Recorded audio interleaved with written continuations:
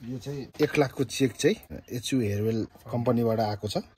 एचयु हेयरवेलको संस्थापक उज्जवल मानन्दर सर उहाँको व्यक्तिगत राय सल्लाहबाट हाम्रो सन्तोष भाइलाई चाहिँ एक लाख रुपियाँ चाहिँ नगद दिनु भनेर चाहिँ मलाई चाहिँ यसो पठाउनु भएको थियो।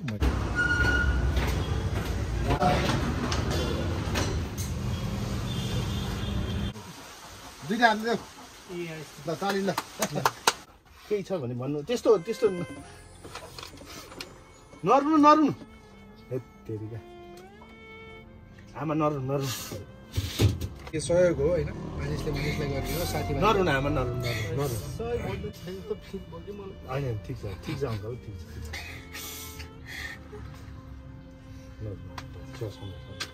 मान्छेको हेपाइ त्यस्तो हामीलाई हामी नरुनु। अब हामीलाई पर्दाखेरि तपाईँले सहयोग गर्नुपर्छ। तपाईँहरूलाई पर्दा नि हामीले सहयोग गर्नुपर्छ। मैले नि धेरै गरेको सर पहिला बच्चाहरूको लागि। जिरो लेभलदेखि अहिले बोर्डिङको बोर्डिङ मैले ब्याचलरसम्म यिनीहरूले मैले दुःख गरेर यहाँसम्म पुर्याएको हो। तर अहिले चाहिँ म बिरामी भएको कारणले गर्दाखेरि होइन अन्तिम अवस्था भयो। ठिक छ ठिक छ। अनि मैले छोराछोरीलाई केही गर्नु सकेन जस्तो महसुस चाहिँ अहिले भयो।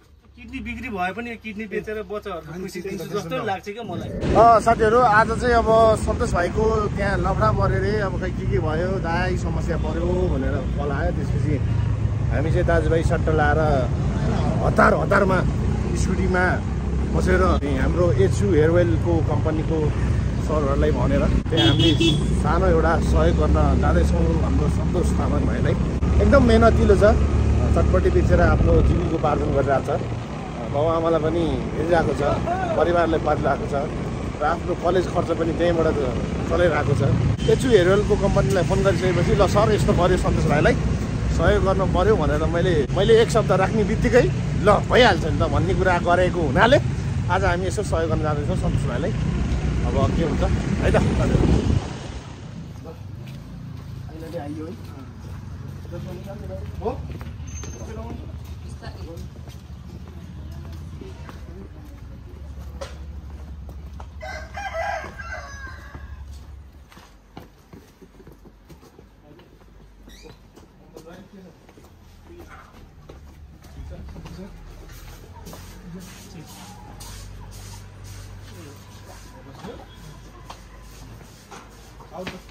बस्नु भित्र नमस्ते नमस्ते तपाईँलाई भित्र बसौँ ल आउनु खाना पिना भयो ए, ल सन्तोष भाइको घरमा आयौँ बुवा मम्मी बहिनी भाइ चाहिँ बाहिर बुवा मम्मी बहिनी कतिजना परिवार पाँचजना पाँचजना हो ए ल अनि के भाइ बहिनी पढ्दै पनि छ पनि ठिक छ ठिक छ हामी बस्यौँ अब चिया के अरे चिया त नखाउँ होइन यो चाहिँ अब हाम्रो पानी खाउँ है सन्तोष भाइ चाहिँ मेरो प्यारो भाइ हो है एकदम मिहिनेत गर्दैछ अब यस के भन्ने यहाँ सानो यो ठाउँमा सबैजना परिवार साथीहरू अब हामी चाहिँ आज चाहिँ किन आएको भन्दाखेरि सन्तोष भाइलाई चाहिँ एउटा सानो सहयोग गरौँ होइन यो चाहिँ चेक चाहिँ मलाई चाहिँ एक लाखको चेक चाहिँ एचयु हेयरवेल कम्पनीबाट आएको छ र हाम्रो एचयु एचयु हेयरवेलको संस्थापक हुनुहुन्छ उज्जवल मानन्दर सर। उहाँको व्यक्तिगत राय सल्लाहबाट चाहिँ मेरो म मार्फत चाहिँ हाम्रो सन्तोष भाइलाई चाहिँ एक लाख रुपियाँ चाहिँ नगद चाहिँ अब दिनु भनेर चाहिँ मलाई चाहिँ यसो पठाउनु भएको थियो मैले उसलाई दिएँ है त। ल। थ्याङ्क यू भेरी मच ल राम्रो गर्नु। एकदम आगा आगामी दिनहरूमा अझै पनि प्रगति गर्नु। यसले चाहिँ अब कहाँ? त्यो ठाउँ ठाउँमा ठेला गएर होइन? अब सटर खोल्नु पऱ्यो के के हो? होइन? र केही भनिदिन सक् चाहनुहुन्छ? नमस्ते सबैलाई होइन अब एज युजल अब मैले पनि भिडियोहरू बनाइरहेको हुन्छु होइन। अब यो घरमा आउने बेला पनि अब मैले सबै भ्लगहरू यहाँ प्लास्टर गर्नुदेखि लिएर जस्ता बाँसहरू सबै मैले एक एक सबै भिडियो हालेको छु। त्यस्तो मेरो अब लुकाउनु पर्ने चिज केही छैन होइन अहिले। अनि अब अहिले चाहिँ जो एचु कम्पनीबाट अब इलिस दाई मार्फत चाहिँ अब एज दाईले चाहिँ मलाई अलिकति हामी नजिकसम्म र इलिस दाईले पनि मेरो धेरै समस्याहरू हेर्दै अब देख्नु भएको छ नजिकबाट होइन। अनि अहिले चाहिँ अब म यहाँ काठमाडौँमा बसेर होइन अब मेरो बुवा पनि खास दुईचोटि आँखा अपरेसन भइसक्यो। अनि एक अब फेरि अझै अर्को अपरेसन बाँकी छ। त्योभन्दा पहिला पनि अब उहाँको अब पाइल्सको अपरेसन भएर चाहिँ एकदम धेरै गाह्रो भएको थियो। तिन चार वर्ष अलि स्टक भएको थियो होइन? अनि अहिले चाहिँ अब काठमाडौँमा बस्दाखेरि व्यापार पनि त्यस्तो छैन। अहिले मन्दी यस्तै छ। अनि प्लस मैले पनि बिजनेस एक्सपेन्ड गर्नु पाएको छैन। लोकेसन पनि राम्रो छैन। अनि त्यही किसिमले गर्दा चाहिँ अब भाइ बहिनीको पढाइ अनि अरू अब यहाँ घरमा खर्चहरू जुटाउन चाहिँ अलिकति त्यस्तै नै समस्या पर्दाखेरि चाहिँ यसरी यति यति धेरै अब यसै अ, यस्तो गाह्रो समयमा पनि यस्तो सपोर्ट गर्नुभएको छ होइन? मैले पनि अब बिजनेसलाई एक्सपान्ड गरौँ भनेर सोचेको थिएँ तर त्यो गर्नु पाएको थिएन। तर यो अब एक लाख बराबरको चाहिँ अब मैले बिजनेस प्लानहरू आइडियाहरू सोचेको छु। अब आउने दिनहरूमा चाहिँ म तपाईँहरूलाई त्यो मेरो भ्लगमा पनि देखाउने छु र त्यो बिजनेस फर्म भयो भने एरिस दाई पनि आउनुहुन्छ होला भिजिट गर्न चाहिँ। र अहिले चाहिँ म एकदम इन्भेस्टर प्लस मैले एउटा फन्ड रेजिङको लागि पनि आफूले पनि कोसिस गर्दै थिएँ। यदि त्यस्तो कोही हुनुहुन्छ तपाईँहरू कोही हुनुहुन्छ भने चाहिँ अहिले म एकदम एकदम गाह्रो सिचुएसनमा छु। जसरी म अहिले गाह्रो सिचुएसन सिचुएसनमा छु यसरी सहयोगहरू आउँदै आइरहेको छ होइन? अब अहिले आयो। अब आगामी दिनमा फेरि आयो भने चाहिँ मैले पछि यदि म पनि राम्रो गर्दैछु होइन? ब्याक टु सोसाइटीमा चाहिँ मैले पनि सपोर्ट गर्न पाऊँ क्या। अनि जसरी मलाई सपोर्ट गरिराख्नु भएको दाईहरूले होइन? अरू अब पहिला पनि अब गर्नुभएको थियो। यसरी अब सहयोग भनेको जस्तै तपाईँहरूले मेरो भिडियो हेरिदिनुहुन्छ सब्सक्राइब गरिदिनुहुन्छ होइन? त्यो पनि अनि चटपटे खाना हुन्छ त्यो पनि सपोर्ट हो होइन? जसरी मलाई एउटा हार्ड सिचुएसनमा चाहिँ तपाईँहरूले यसरी सपोर्ट गर्नुभएको छ। म पनि पछि म जस्तो अहिले हजारौँ छ तर तिनीहरूले चाहिँ अब दुर्भाग्यवश भनौँ अब पाएको छैन तर म चाहिँ भाग्यमानी छु होइन? र आउने दिनहरूमा चाहिँ म त्यस्तो व्यक्तिहरूलाई म पनि पर्सनल्ली होइन त्यो हेर्न चाहन्छु। किन भन्दाखेरि म पनि त्यहाँबाट गुज्रेको छु होइन? र एचु हेरोलाई चाहिँ एकदम धेरै धेरै धन्यवाद दिन चाहन्छु। हाम्रो एचयुए रोयल र हाम्रो उज्जवल मानन्द सर जो चाहिँ एचयुए संस्थापक हुनुहुन्छ। उहाँलाई पनि हामी व्यक्तिगत तर्फबाट धन्यवाद। दिउँ है र आगामी दिनहरूमा हाम्रो यो एक लाख रुपियाँले सन्तोष भाइले राम्रो प्रगति गर्नु है। अब राम्रै ठाउँमा के हुन्छ अब कसरी हुन्छ अब राम्रै सटरै अब त त्यो ठाउँ ठाउँ सार्वजनिक ठाउँ होइन कि? सटरै लिएर त्यो के व्यवसाय गरेर देख्न पाऊँ? र आफ्नो भाइ बहिनी र बुवामालाई पनि राम्रो ख्याल राख्नु। र तपाईँहरू सहयोग गर्न चाहन्छ भने यसो कमेन्ट गर्नुहोस् है। कमेन्ट गर्नुहोस्। भाइको नभए म त्यहाँ एकाउन्ट नम्बरहरू के राखिदिन सक्छु राखिदिन्छु। सहयोग गर्नुहोस् तपाईँहरूले फोन गर्नुहोस् कन्ट्याक्ट गर्नुहोस् त्यहाँनिर कन्ट्याक्ट तल हामी राखिदिन्छौँ। अब उसलाई यो चेक मात्र हस्तान्तरण गर्दैनौँ कि? यो चेक हामी ब्याङ्कमा गएर साटेर ल्याएर क्यास स्याट हिँडेर आउँछौँ। के छ के छ कुरोकानी? हुन्छ। ल हामी अब यो चेकलाई चाहिँ ब्याङ्कमा जान्छौँ। ब्याङ्कमा गएर साट साट्छौँ र क्यास लिएर आएर फेरि हाम्रो सन्तोष भाइ र सन्तोष बुवा भाइको बुवा मन्डललाई चाहिँ हामी हस्तान्तरण गर्छौँ। हामी लागौँ त। त्योभन्दा अगाडि के भनिदिनुहुन्छ तपाईँहरू? त्यो खासै त केही छैन सर अब। केही छ भने भन्नु। त्यस्तो त्यस्तो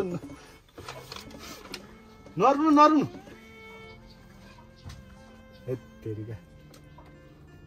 आमा नरुनु नरुनु।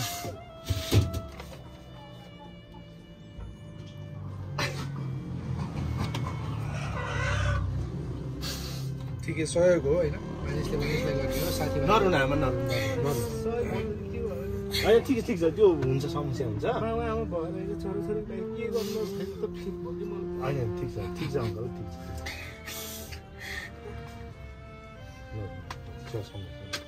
मान्छेको हेपाइ त्यस्तै छ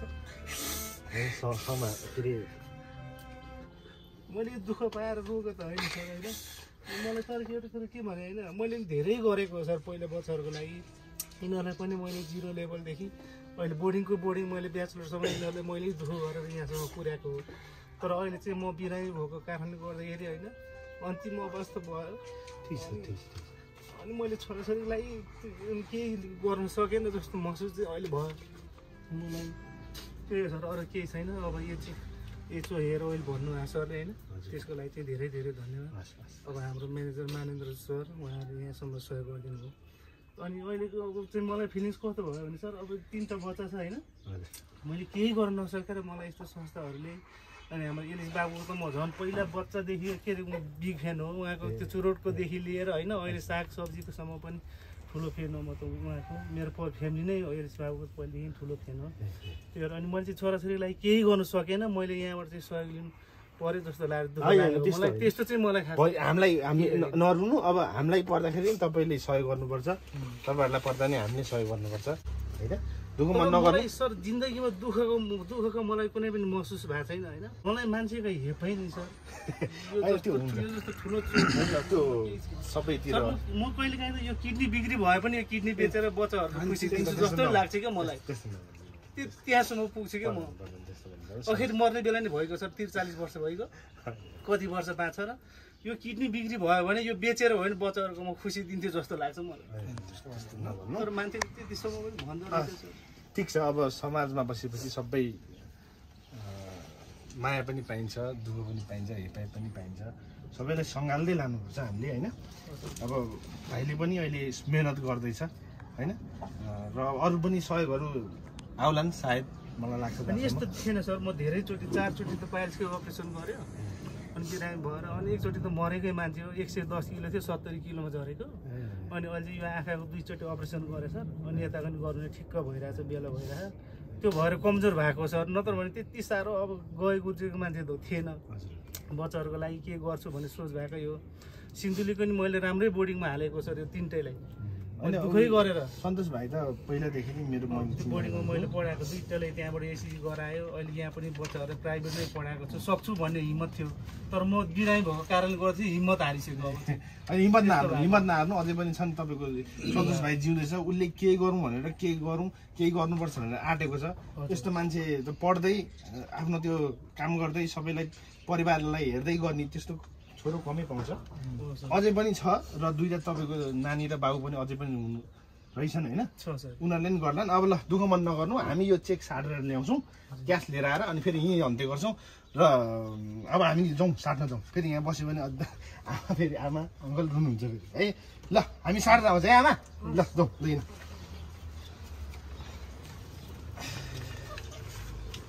दुःख मन नगर अब यताउति जे पनि गर्नु ब्याङ्कमा गएर चेक साटौँ। साटेर अनि पैसा लिएर आउँ क्यास ल्याउँ। अनि त्यसपछि के के कुरा गर्ने? है ल अब हामी ल साथीहरू अब हामी चाहिँ चेक साट्न जाँदैछौँ। हाम्रो सन्तोष भाइहरू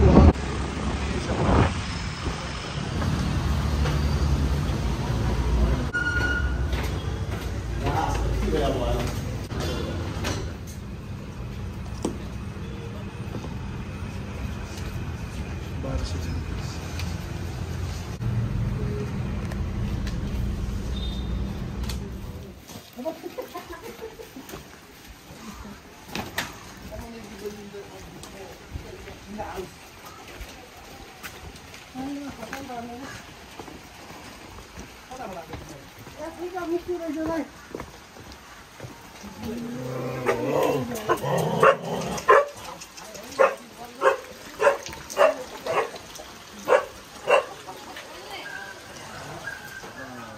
गने नि।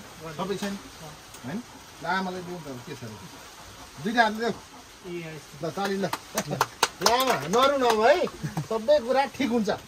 है हामी अझै पनि पहल गर्दैछौँ। भाइको मेहनत देखेर आफ्नो उसको मेहनत देखेर हामी आएको हौँ होइन? अब चिन्ता नगर्नुहोस्। अङ्कल पनि चिन्ता नगर्नु है? अब यो पैसाले के गर्ने? तपाईँहरूले राम्रो व्यवसाय गरेर के गर्ने? कसो गर्ने? तपाईँहरूले नै हामीले स्पेसल चाहिँ हाम्रो अब एचु हेयर ओइलको संस्थापक हाम्रो उज्जवल मानन्दर सरलाई चाहिँ धेरै धेरै धन्यवाद। है उज्जवल उज्जवल उज्जवल मानन्दर हुनुहुन्छ। सरलाई धन्यवाद। हुन्छ अब ल अब हामी चाहिँ लागौँ न के हो त लागौँ। है ल सन्तोष भाइ ल थ्याङ्क यू भेरी मच है पानी पऱ्यो है ल अङ्ग। सन्तोष। अब केही गर्नु पऱ्यो अब यो अहिले त राम्रो सोचेर गर्नु पऱ्यो मन अलिअलि होइन है। ल पानी पनि पऱ्यो ल राम्रो भयो त ल हामी गएको है त सन्तोष के पऱ्यो हामी गरौँ है ल। ल अब आमा। आ, आ, सन्तोष, है। ल ल है ल ल ल